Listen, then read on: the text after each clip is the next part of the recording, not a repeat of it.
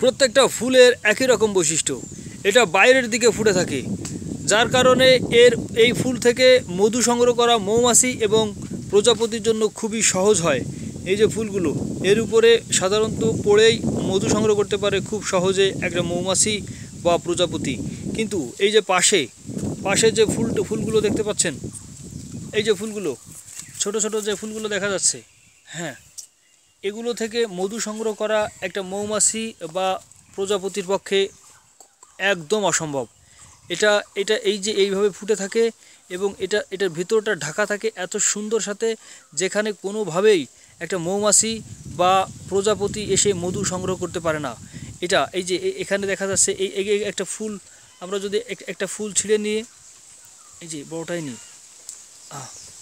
এই যে এই ফুলে সুন্দর করে এমনভাবে মধুটা থাকে যেখানে হালকা করে চাপ দিলেই এই মধুটা বের হয়ে আসবে। ও, রোদের জন্য দেখা যাচ্ছে না এদিকে? হ্যাঁ আবার রোদ পড়ল।